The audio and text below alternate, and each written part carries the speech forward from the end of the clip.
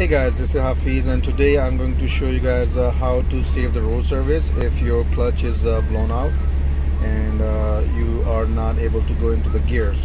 So I'm just going to show you um, how it's gonna do. Like if you press the clutch and then you try to go in the gear, you're gonna hear this kind of noise like it's grinding and you cannot get into the gear even you are on the clutch so you are not able to go into the gear.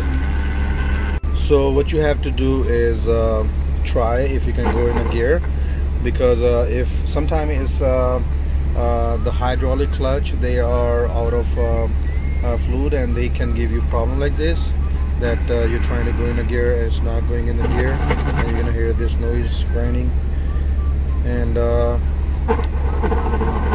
there's no way you can get into the gear. It's like if you step off the clutch and you try to go in the gear you're gonna hear the same noise.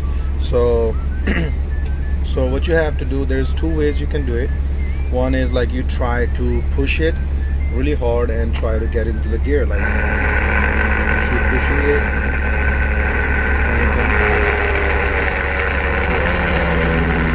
Using two fingers right now so I'm in a gear right now.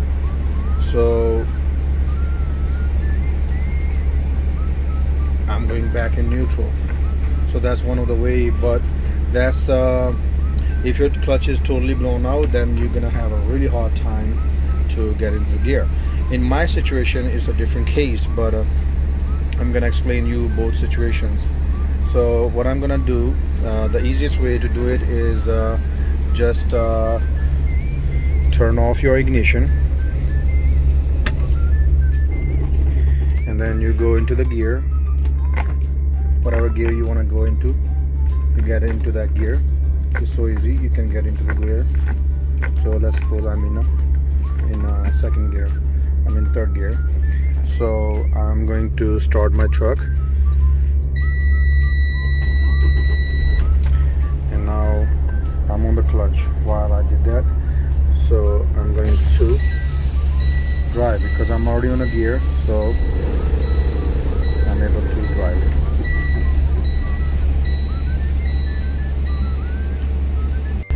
if your clutch is completely blown out and it's totally burned then what you do is turn off your truck put in the gear and then uh, start the truck. So as soon as you're gonna start the truck you have to be ready because the truck is gonna jerk a little bit and it's gonna let's suppose you start the truck and it's gonna act like this like you are in a gear and it's gonna be start moving right away. So you have to be in a very lower gear.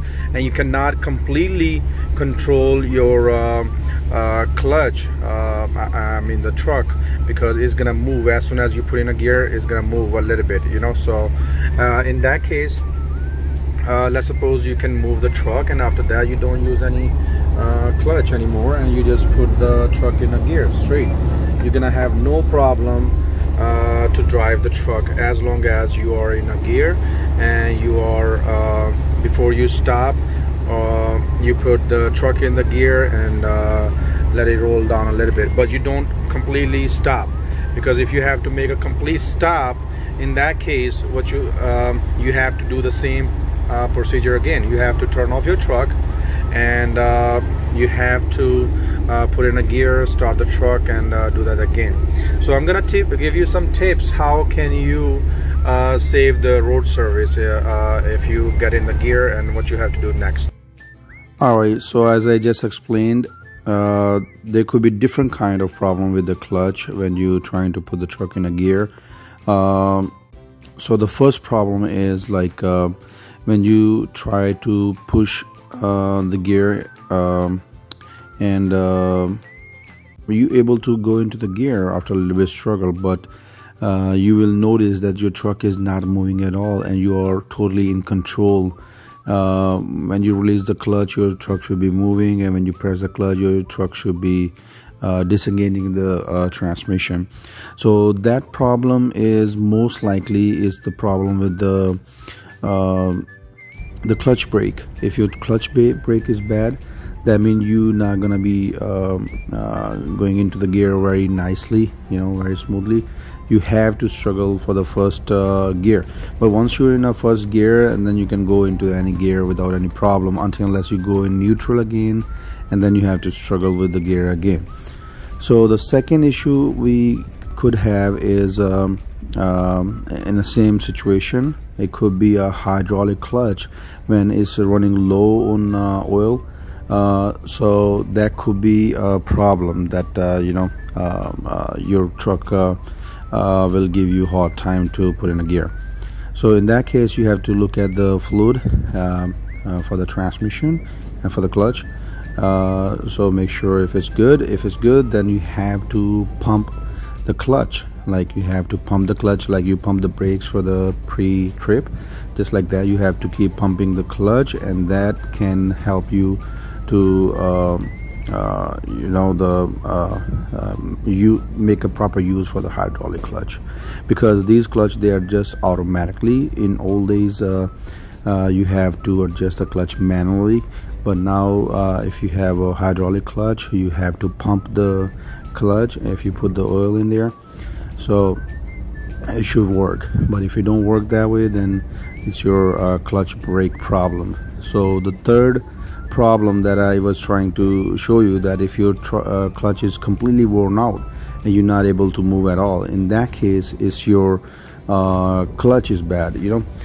So if your clutch is totally bad then what you can do is like put your um, truck in a gear turn off the ignition put in a gear and make sure your truck uh, brakes are released because as soon as you uh, start the truck your truck is gonna move.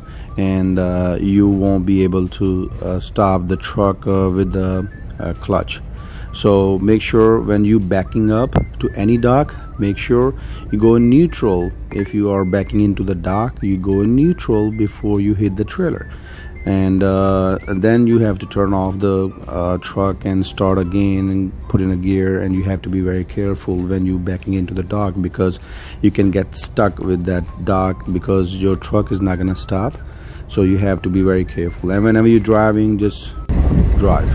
Because as soon as you stop um, uh, the truck you won't be able to go back in the gear again and you have to turn off the truck again and do the same procedure again and again. So make sure whenever you uh, stopping let the truck roll a little bit and uh, if you have to park the truck uh, make sure if it's uh, on a little bit uh, hill downhill so you can roll the truck a little bit.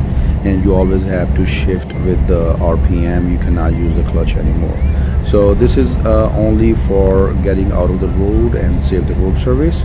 Um, and you can drive as long as you want but I mean you have to be careful that you don't drive this uh, and you can get stuck and it can cost you more money. So so if your truck is good always drive in uh, between uh, 10 and 15 rpm don't drive in a low rpm to protect your um, um, clutch. I hope you like the video. Please subscribe the channel and share with the friends. Thank you so much